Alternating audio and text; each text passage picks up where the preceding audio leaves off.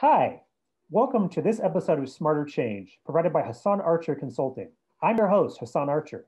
Each session, we dive into an interview with senior leaders to understand how they have led meaningful change inside their clients, companies, and organizations. I believe lasting change within companies requires everyone to continually assess and evaluate how they get things done in a changing world. And today, I'm excited to speak with our guest, Martina Stone McGaw. Martina Stone McGaw principal of Martina Stone Consulting, is an organizational effectiveness consultant and executive coach. After a career in research based consulting and spending time at tech startup, she now spends her time working with teams and individuals, finding the key areas where improvement will make the biggest impact on both the organization and individual. Martina focuses on effectiveness coaching, leadership development, and team alignment. She works across industries and size of organization, she hails from New York and is now based in Los Angeles. A fun fact about Martina, which we'll get into later, is she is also a singer in a competitive barbershop chorus based in Santa Monica, California. Martina, thank you so much for joining us here today. Hi, Hassan. Thanks for having me. Happy to be here. Yeah, we're so excited to talk to you today. So, first of all, just to get us started, why don't you give me kind of introduce yourself in your own words, and especially, I need to hear more about this barbershop chorus.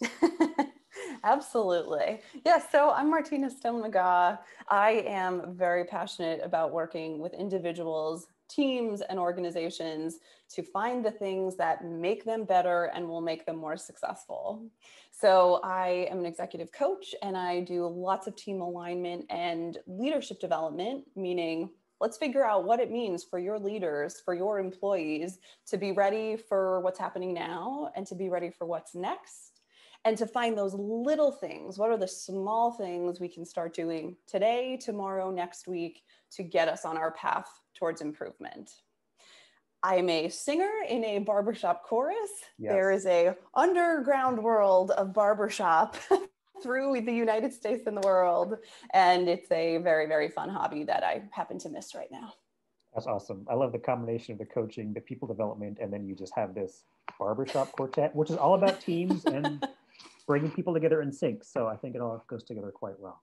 Absolutely. So, so in the work that you do in coaching, leadership development, team alignment, um, you know, the world's changing a lot. We used to say 2020 was crazy. We're now in 2021. Um, tell me a little bit about what the trends are that you're seeing and just changing how, how we're seeing the change in work. How is work being done in different ways today? Absolutely. Work is being done in so many different ways right now. And this has, of course, been a extremely challenging year for lots and lots of people. But if we care to find some of the silver linings, I think there is a bit of a reckoning happening where organizations are being forced to be really creative about how work gets done, really, really flexible. And to be honest, this is some things that some companies have been doing for years and years and years. And this has also forced companies who are a little bit more traditional and a little bit more rigid to think about we need to jump into this solution because they were forced to right now. Mm-hmm. I think it has opened our eyes also to the need to really bring the humanness back into work. And I know we hear that in a bunch of different ways, and I don't mean that in the cheesy way, but there's been an opportunity that some companies have seized this year to realize caring about the person and the individual, all the way down from your new hire, first year employee, all the way up to your leaders. Everyone needs to be cared for to be their best.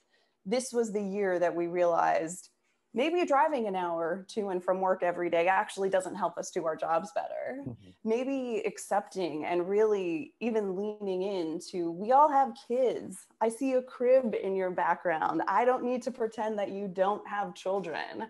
I think you'd feel much more connected to me if I accepted and knew and asked about your children. Mm-hmm. We're seeing that this year, that really leaning into managers saying to their employees, How are you doing? Not in passing. Genuinely, how are you doing? Mm-hmm. And what do you need to be your best in this next week, this next month, and then the year of 2020? There's been a lot more creativity about how we can support that, how businesses can support their people in doing that. And I suspect that that will push all of work into this new place where that question can be asked all the time, pandemic or not. That understanding that our we don't leave our personal lives at home when we come to work. We don't forget about a sick child or a sick parent. That's happening at a micro level all of the time. And I have a pretty real belief that the better we support people, the more engaged they'll be, the better results they'll produce for their companies. Mm-hmm. And I think we're on a path, maybe a bumpy path, but a path in that direction.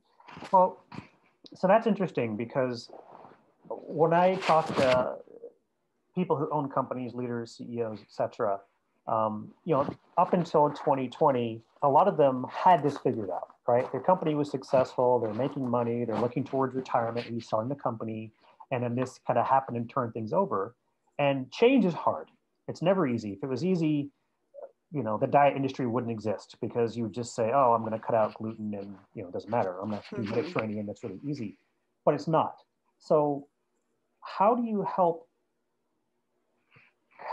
experienced executives understand the need for change? I mean, maybe they see that from monetary or challenges or they read the news, but understanding the need to change, but then also developing those new softer skills, like you said, like the fact that my employees have kids right behind me and there's a crib.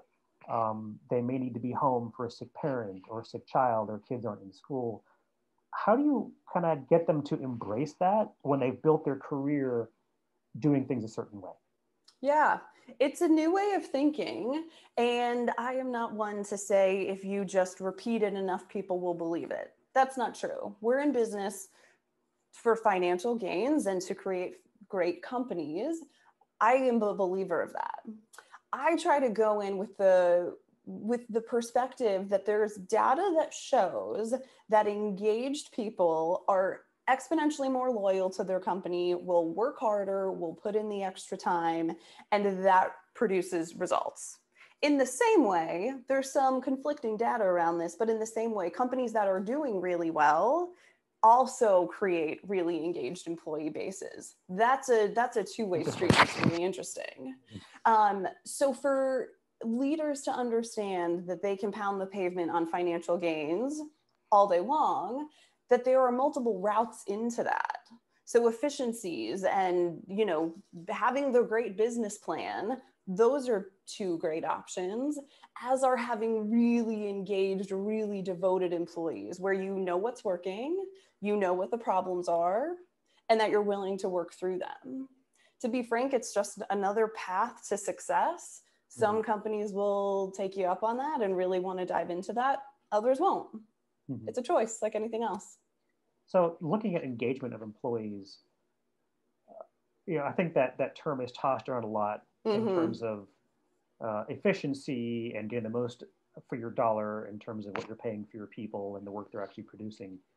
How do you measure that with a remote workforce? Is that about tools and almost big brother type checking their emails per day? Or like, how do you do that in a way that builds that connection and that humanity you mentioned originally with your employees? Yeah, I lean much more on the human side of that. Surely there are tools that can do that, but I would say you can check your email 100 times a day and get nothing useful done. And you can check your email twice a day and have had a very productive day. True, so I'm not true. one for quantifying necessarily, although there are situations where that's necessary, like, you know, customer service, and there, there are places where that matters. I would say if in an organization, every manager can say, this is what my four direct reports are working on, this is what's working for them, and here's the challenge they're facing, that tells me that if nothing else, there's communication happening and that an employee feels some degree of connection with someone in their organization. That doesn't mean everyone's going to stay. That doesn't mean everyone's working to full capacity, but it gives me an indication that at least there's a path towards that. And there's mm-hmm. a higher likelihood that those people are willing to work, willing to put in the time, not watching TV all day at home, because it's unlikely that their manager would have any real inkling of what's going on with them if that was true. Hmm. It's it's that silence, it's that not knowing that leads me towards that's when people's attention is straying much more than how often they're checking their email or if they work till midnight or not. Sure. do you think that the changes we're seeing right now with remote work, um, changing how employers and employees relate to each other, are there some people who just, it's not going to work? And there's some employees that just will not adapt or some managers who won't? Or do you think everybody can be saved and everybody can make it work? this is a, I know this is a hard question. I'm yeah, it is. Lot, but I think that's something that people want to know. Like, will it work for me? Will it work for everybody? Or is this going to push some hard decisions for businesses? Sure. I think it'll push some hard decisions for businesses. I am an optimist, but I I couldn't say truthfully that yes, this will be a success for everyone. Um, I believe everyone has a shot with the right tools to improve. I think every manager, this moment has so clearly defined. I've spoken to so many teams and managers saying, I don't know how to connect with my employees because I don't pass them in the hall. Let's be real, passing them in the hall saying hi wasn't probably connecting with them either. This moment of remote work has shown how intentional we need to be about that and that that's absolutely true when we're in person too we can grow those skills. We can learn what are those opportunities to check in with people. The power of a seven minute phone call saying, Hey, Hassan, how's your week been? Nothing about work, just want to hear how you're doing. Have a good weekend. Hugely powerful, but it's a skill like anything else. At the same time, will every manager adapt to that? Will every employee be able to be their best for the remainder of time we're at home? Not necessarily. So just, just to understand you correctly, are you saying that something as simple as honestly checking in with your employee to see how they're doing makes a measurable difference? Yes. That measurable difference is tricky. um, there's a lot of talk about ROI in the coaching world, in the effectiveness world. Um, surely there are some fantastic stats, but it has been shown in lots and lots of cases that that type of quick check in, that type of repeated check in makes a measurable difference. An example of that is when we look at performance management. Lots of research has been done that we are going to remove the numerical ratings on performance mm-hmm. uh, reports. We won't do one through five. Let's see what that does the science shows, the research shows that the numerical rating does not matter. What matters for companies who have successful and increasing performance is the quality and frequency of good manager to employee conversations. That's what matters. Are they happening more than once a year? Mm-hmm. And are they good conversations? That is what gets a company on a trajectory to improve their employees' performance quarter on quarter, year on year. So yes, I can say it does. That's incredible. I mean, uh, you know, one of the topics I cover on this show a lot is that it's small changes that make outsized improvements in organizations. Absolutely. And what you're describing, like it doesn't seem like that should be rocket science, but I know from my own career that even that doesn't happen consistently. And it didn't happen before COVID. Even when you're together, I think there was the hey, we passed in the hallway. I smiled at my employee who said hi. I interacted with them at the holiday party. You know, maybe we're in the elevator together, but that was kind of like, oh, of course I know what's going on in my organization. But just going that little bit further to have that humanity expressed between the employee and the employer actually makes a difference. That's very interesting. It is. And let me elaborate on that just a bit. It's not necessarily for the sake of that connection. That mm-hmm. connection is huge. But the reality is that that relationship that has some solid foundation of I care about you as a person, you care about me as a person, even just a little bit, it doesn't have to be deep.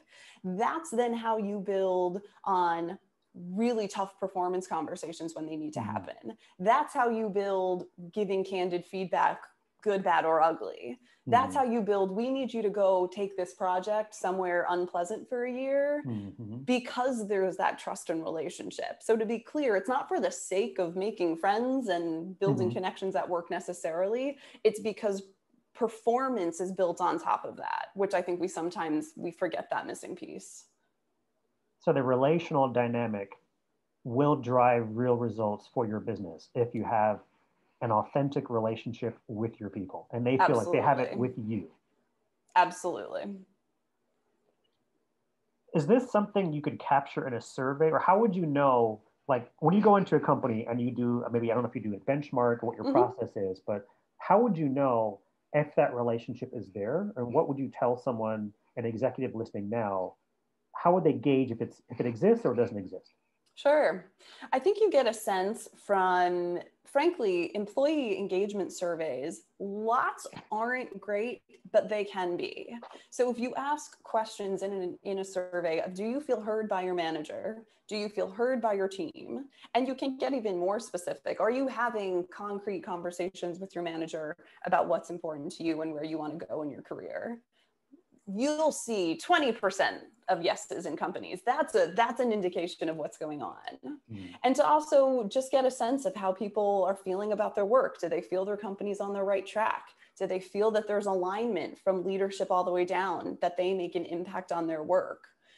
Those answers that's the piece of data that then there's a lot of questions to be asked about the why but absolutely you can get a sense of that. That's a big picture snapshot in the same way asking your managers tell me what your direct reports are working on and what's going well mm-hmm. and not well. That's the micro version of here's actually the data around that. That's awesome. That's awesome.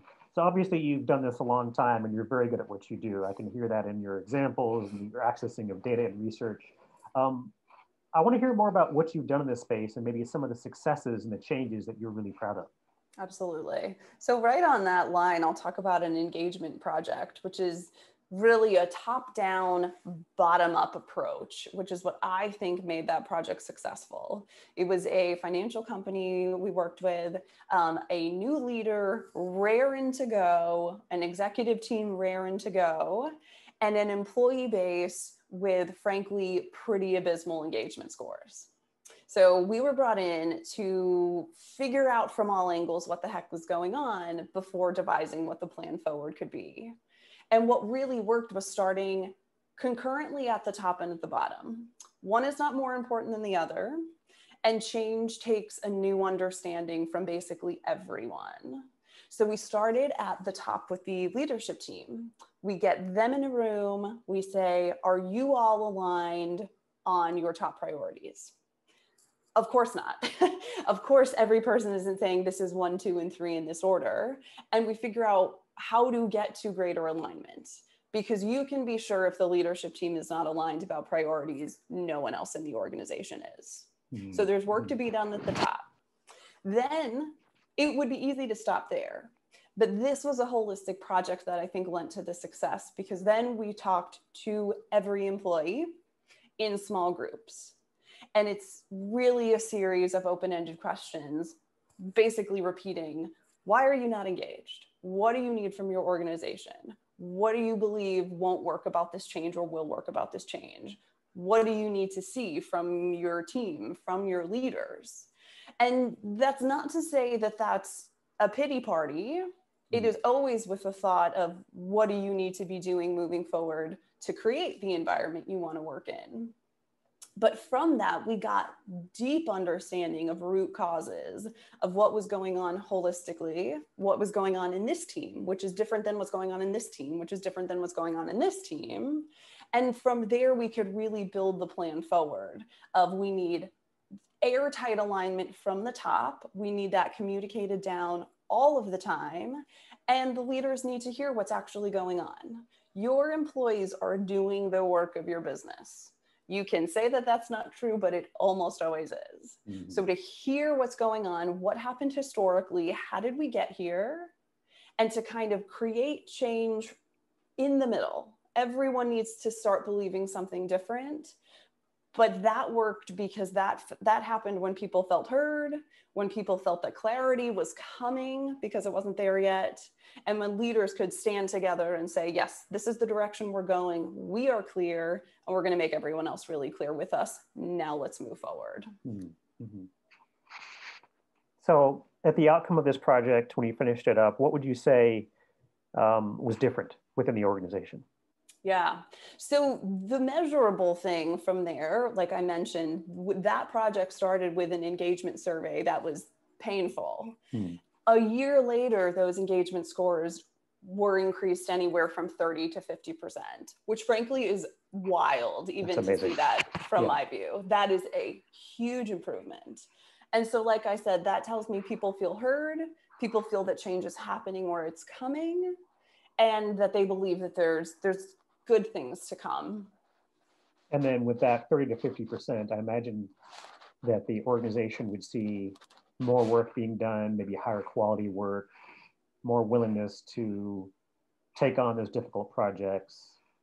They're probably having better interaction with customers. So you'd probably see some of those filtering effects kind of spreading out from there. Is that generally what you're absolutely, absolutely. When you think about just the amount of time people spend complaining about their manager or their coworker to someone because they didn't get say no one said hi to them in the morning when they walked by mm-hmm. when you add that up through a year that is an extraordinary amount of time the same way talking about mm-hmm. and figuring out this team is overloaded with work how if you don't solve that problem the amount of time spent sitting in it is exponential through the year so getting people invested, worrying less about all of those issues, they have more time to give to their customers, to give to the systems, to give to the change and you need to hear what that is. Okay.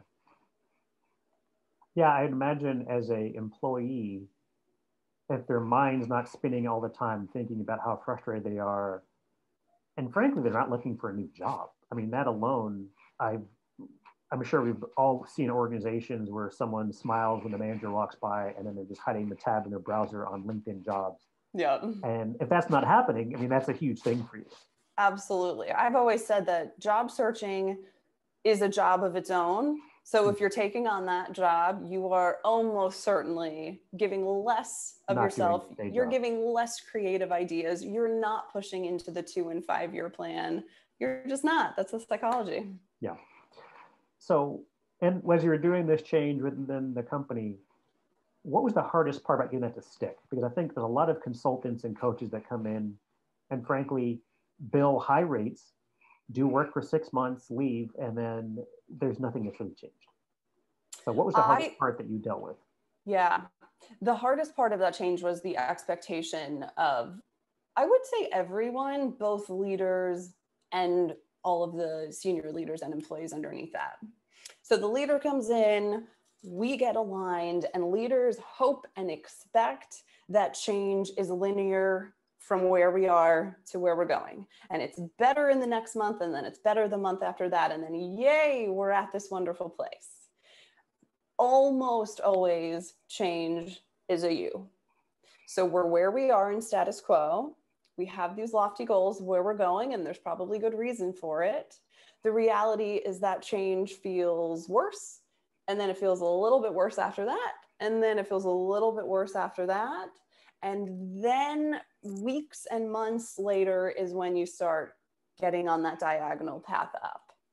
Leaders are with so much conviction, which feels like the right feeling, don't believe that, don't want to accept that. And there is a huge amount of frustration mm-hmm. when they are going up and everyone else is still trying to figure out what this change means for them. Yeah you will have people who are resistant for the sake of resistance. That's why I answered before. There will be some people who can't get on board with the change, and there may have to be a conscious uncoupling, if you will. Mm-hmm. There are lots of people who will want to be on board, but it's too quick. They haven't been asked how they feel about it. They don't know how it affects them day to day. And they're in that bottom of the U just trying to figure it out. And to hear from a leader, guys, get on board. Guys, this is where we're going get on board. That does not work as well in my experience as tell me your thoughts. What about this change do you think will work and what do you think won't work? There's information to be found in the bottom of the U if leaders are really, really curious to find it. But it's that difference in expectation of what change looks like um, that causes a lot of frustration because a lot of companies give up right before it's about to turn do you find that the expectation setting is harder for the employees or for the management? I think it's both. I think it's really hard for a leader to hear this is going to take more time and it's going to take a lot more work because people don't just hop on board and, and they're just good. Loyalty doesn't work that way. It's also hard for employees to hear that anything is going to be different. Hmm. Change is inherently hard confusion, unknown, cloudy weather is hard, mm-hmm. um, especially for legacy employees who have been saying, I've been doing this for 20 years. I'm probably not going to change. Um, that's what's hard. It's, it's bridging that gap between where we want to go and the goals and all of the good intentions with the reality that it's it might be cloudy for a while. And the power of saying guys it's going to be unclear for a while. And the second we know more we're going to tell you. And the second we know the structure for the future we're going to tell you. Lots of companies don't say that and then employees sit in confusion for three or six or nine or 12 months so it's hard all around. It's not easy. So what do you think about um, like which individuals you think are more successful making these changes? And then the corollary to that is which teams like how do you believe the teams will be more successful at making these changes? Yeah. I think individuals and teams making changes you have to be open to it. If you're going to be the person that sits back and says no this is then the company for my whole career. I'm not changing that fundamentally is going to give you challenges. So you got to be open to it. You also have to be participating in the solution. And that can look like different things. That can be saying i have an idea for how we can do this let me share that. You'd be surprised in the interviews in that example I just gave you, lots of ideas bubbled up. People want to share their opinion, they just need to be asked. So they need to be contributing to the solution. And also, your people, your boots on the ground people, also may know some roadblocks that are going to come up. So, really, if you are participating fully in seeing the future and figuring out how to get there, um, that makes that work a team who knows that their leader has their best intentions in mind. Mm-hmm.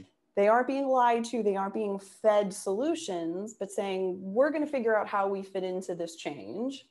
Um, we're going to do it little by little. Mm-hmm. We're not going to jump to the future. We're just going to say, we're going to start to do this particular thing different. I'd say that's also another challenge of change.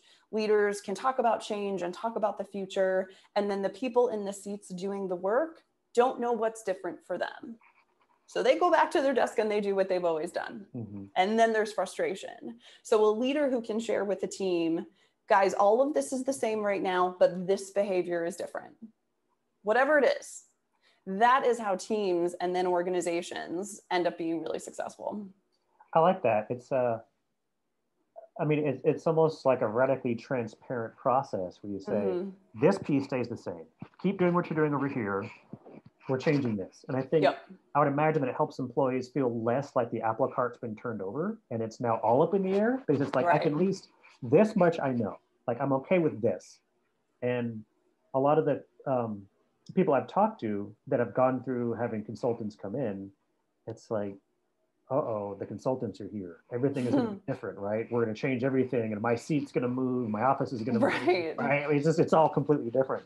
So I like the idea of saying, here's what we're working on here. It's almost like a modular or a piecemeal approach to change, where people yeah. can get used to a piece of it before the entire thing is changed in front of them. And I love hearing you say that because that is exactly the work I do with individuals and with teams. When I am coaching, I do effectiveness coaching. I don't do life coaching. I do how do you need to be effective? What do you need to do to be more effective today mm-hmm. and in your future? And it is you, we want to dream big. We want to have the vision for where we want to go. But the reality is that the change to get there is a 10% change tomorrow. It's a 5% change the day after that. It's showing up just a little bit differently or putting the gas down on this behavior just a little bit more. Mm-hmm. Change isn't 100%. We don't go from 0 to 100. So that concept is a is a through line of the work I do mm-hmm. of it's little by little we improve at this, we show up this way, but you have to know what that thing is and you have to know what's not changing. And I mm-hmm. think a lot of people if you were to ask them, my company's in a transformation here's what's different i don't think there's a lot of clarity on that answer hmm.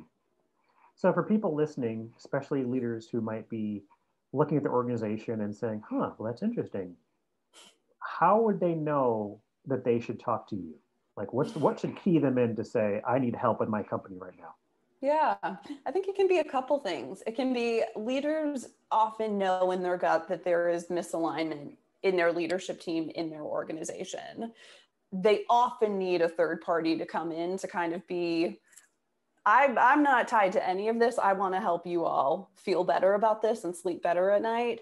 That would be an indication if, if a leader has a feeling that, yeah, I don't know that my executives would say exactly what I'm saying. That would be an indication that a little bit of work could do. A thought where if you're going through transformational change, you ha- you don't have the capacity to hear from everyone. I understand that. This is not quick and easy work but to say i recognize that we're going to be in the down part of the u of change and we want to understand what we can learn from that um, you may not have that resource in house so that makes that's a great opportunity to say let me just bring someone else in or when things are generally going well your business plan is right your strategy is right but the pieces aren't gelling and there's inefficiencies that you believe could be improved that's a time to look at what teams are working with other teams. How does this team need to gel together? Does this team know how to work with this team? Um, there's some just foundational work where the strength of a team of knowing who's on this team how do they work how are they motivated how can i get the best out of them? That can be a really strong foundation for all of the change all of the work all of the productivity that needs to happen on top of that and the work that you're doing now, is this, especially with the age of COVID, we're not traveling as much. Mm-hmm. Is this all work you do remotely or do you do on sites to get a vibe? How do you how do you approach that? Both. So the good news for me was that I was working quite a bit virtually before this.